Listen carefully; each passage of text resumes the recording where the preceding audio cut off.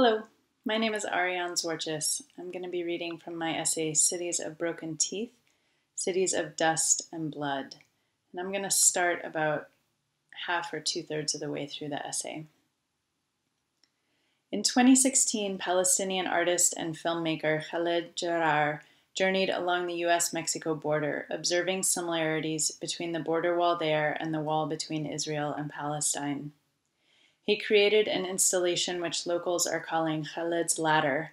Taking metal from the border wall, he constructed a ladder and planted it upright in open space near the wall in Tijuana. This was his first trip to the U.S. after being prevented by Israeli soldiers from leaving the West Bank to attend an exhibition featuring his work at the New Museum in New York, despite having obtained a visa. I saw Jarrar speak at the University of Arizona, where I'd gone to graduate school and taught English for years. We sat in a cool, air conditioned conference room with floor to ceiling glass walls. He was presenting, together with Jewish artist Robert Yerachmiel Sniderman, on art and images of the occupation. Gaza has been a laboratory for weapons testing for both the Israel and the US, Jarrar said in his presentation. Some of the weapons tested on Gazans were developed right here at the University of Arizona, which has extensive defense and homeland security research programs. Jarrar showed us an excerpt of an old video from the late 80s or early 90s about the settlement of Israel.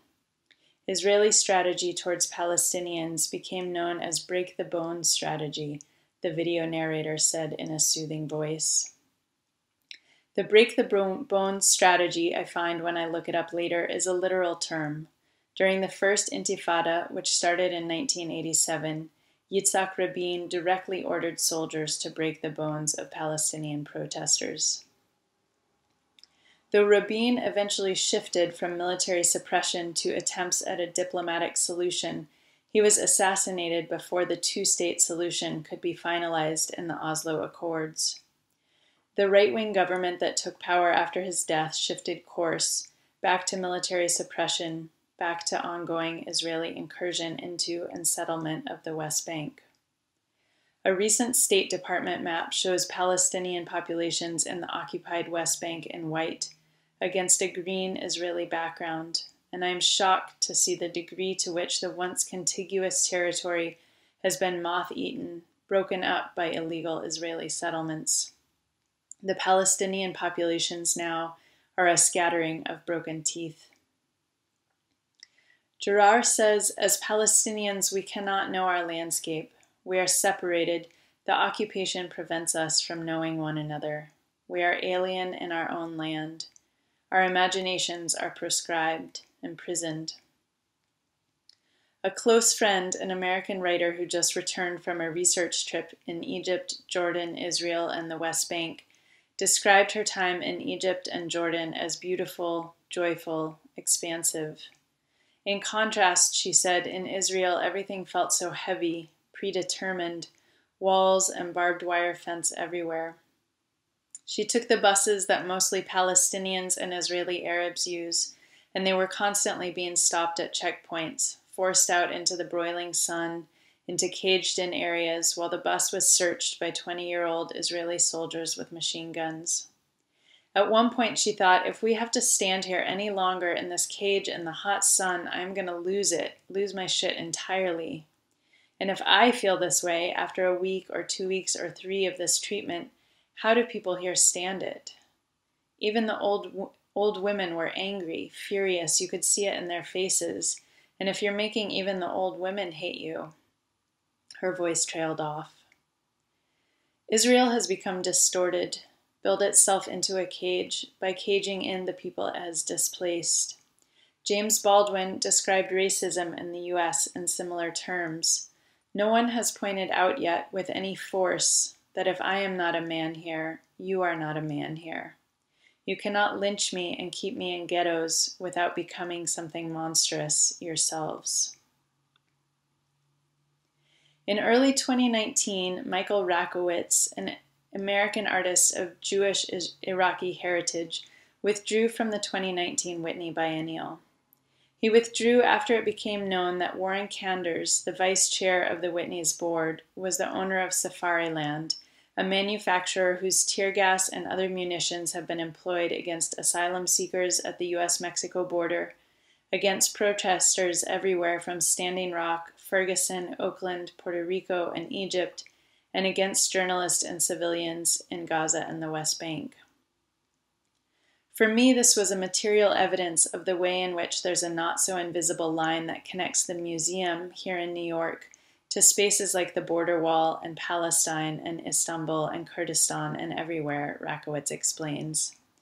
When I was at MIT a few years ago, there was a scientist who told me that in science, when you want to know how a system works, you introduce a coloring agent. And so the gas was this incredible agent that made very visible and very, very clear the way in which the power structures had been drawn.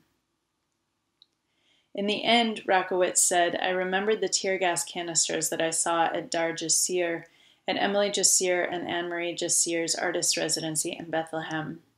This beautiful house that their ancestor, ancestor built is right there at the border wall, and it's where demonstrations are held against the Israeli army, and it's where those tear gas canisters end up in the garden. So instead of picking flowers, they're gathering the tear gas canisters. And these things for me are a very physical and visual symbol of bodies that are being evacuated from the world, either through death or through displacement. When asked why he does work in Palestine, Rakowitz responds To say that art doesn't have a place in these cities under siege is a further dehumanization of the people that live there and a spectacularization of this violent image that we have of such places. In 2015, Anna and I went to see a performance by Mokhallad Rasem, who was born and trained in Baghdad and now directs in Antwerp. During the war that resulted from the U.S. invasion of Iraq, he fled to Belgium as a refugee, waiting five years to receive his papers.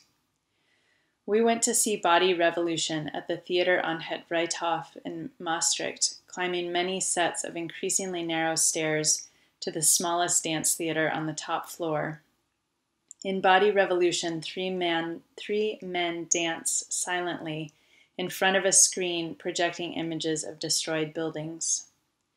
Body Revolution is about violence and what violence does to a person how violence develops into fear and fear stays in the body, Rasem said in 2015. As the lights go down, the audience tapers into silence. White sheets hang behind the dance space. A projection on them slowly pans to a scene of wrecked buildings, gray and black and abandoned. Instantly, I am carried back to Darwish's lyric, Memory for Forgetfulness, where he describes the vacuum bomb dropped on Beirut by Israel. And I'm going to stop there. Thank you very much for watching and listening.